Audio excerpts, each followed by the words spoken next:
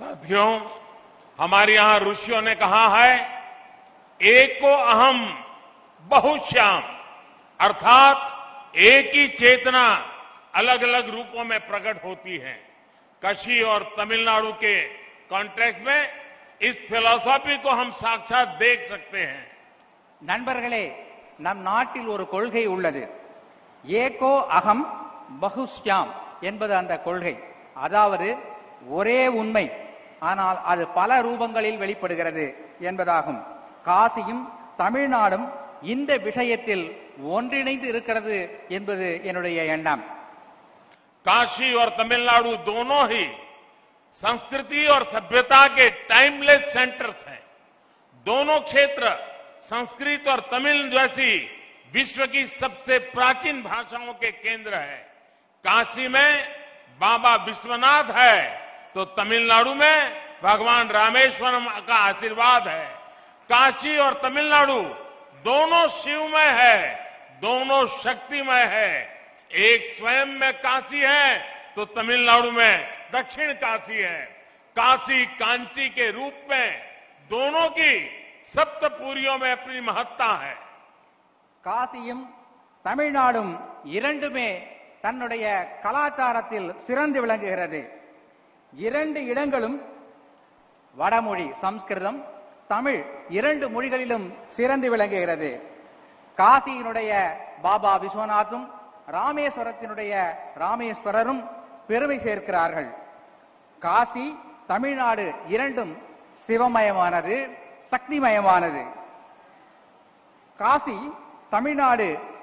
இரண்டும் திருக்கோயில்களுக்கு பிரபலமானது. தமிழகத்திலே காசி தென்காசி என்ற ஊர் பிரபலமானது காசி காஞ்சி இந்த இரண்டு நகரங்களும் ஏழு முக்கியமான நகரங்களில் ஒன்றானவை काशी और तमिलनाडु दोनों संगीत साहित्य और कला के अद्भुत स्रोत भी हैं काशी का तबला और तमिलनाडु का तन्नुमाई काशी में बनारसी साड़ी मिलेगी तो तमिलनाडु का कांजीवरम सिल्क पूरी दुनिया में फेमस है காசி தமிழ்நாடு இரண்டுமே கலை கலாச்சாரம் தங்களுடைய பண்பாடு ஆகியவற்றில் சிறந்து விளங்குகின்றன காசியிலே தபேலா என்றால்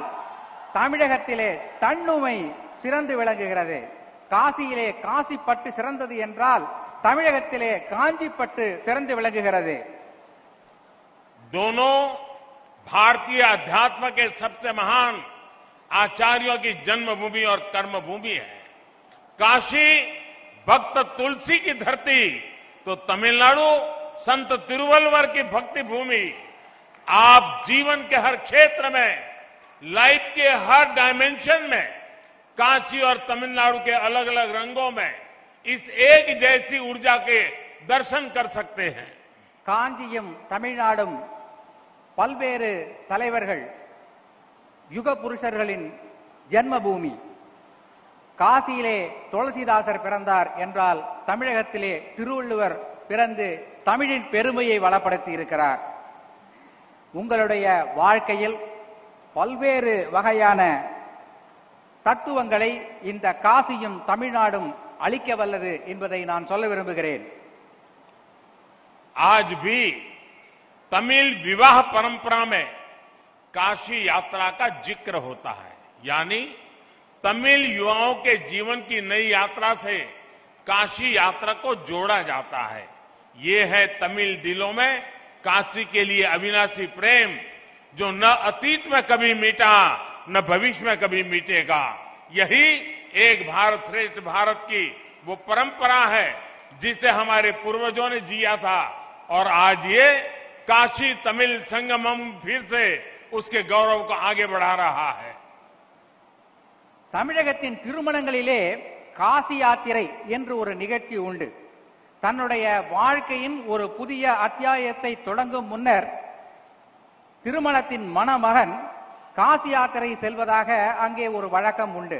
இவ்வாறு காசிக்கும் தமிழ்நாட்டிற்கும் இடையே ஒரு நீண்ட பந்தம் நெடுங்காலமாக இருந்து வருகிறது